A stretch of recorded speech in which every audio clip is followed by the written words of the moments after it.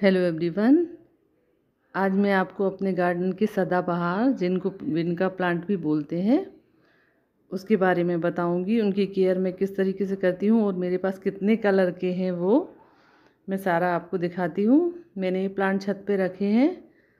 इसके पहले भी मैंने कुछ हाइब्रिड वेराइटी के अलग कलर के विनका के प्लांट ख़रीदे थे, जो ख़राब हो गए थे। फिर मुझे थोड़ा धीरे धीरे मालूम चला कि इनका कैसे केयर करते हैं। और किस तरीके से ये अच्छे रह सकते हैं तो फिर मैंने वैसा किया, जैसे मेरे प्लांट बहुत सुंदर हैं। सिंपल प्लांट तो हर जगह उग जाता है, ये पर्पल और वाइट होता है, पर जो हाइब्रिड है, जो आपको ये दिख रहा है, इसमें बीच में जो पिंक वाला छोटा दिख रहा है, वो पिंक कलर नहीं है एक्चुअली वो डार्क पर्पल है, पर वो इसमें कलर आया नहीं कैमरे में अच्छे से। इसके बाद ये जो पर्पल और वाइट है, ये तो हर जगह दिख जाते हैं।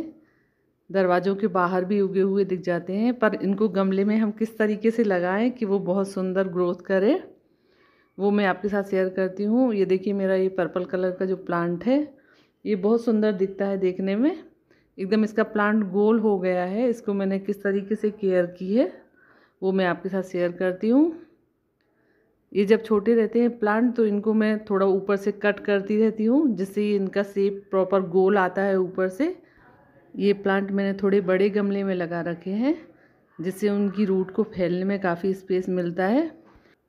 इस प्लांट को कटिंग से भी उगाया जा सकता है और बीज से भी लगाया जा सकता है।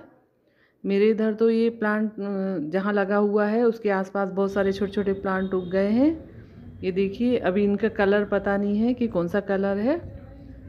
जब मैं इसका कलर देख लूँगी, उसके बाद इनको गमलों में लगा दूँगी, ये आसानी से उग जाते हैं। कुछ प्लांट मैंने मेरे गेट के बाहर लगा रखे हैं। ये साल भर ऐसे ही फूल देते हैं। मैं इनकी कटिंग करती रहती हूँ सेप में थोड़ा। ये प्लांट रोज़ फूल देता है।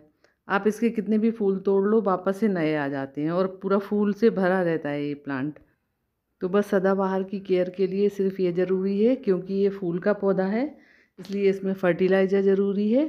अभी क्योंकि गर्मी है तो आप इसमें लिक्विड फर्टिलाइज़र दें। हर दो चार दिन में उसके गमले में थोड़ा गुड़ाई कर दें और इसको प्रॉपर सेप में रखें, उसकी कटिंग करते रहें ऊपर से।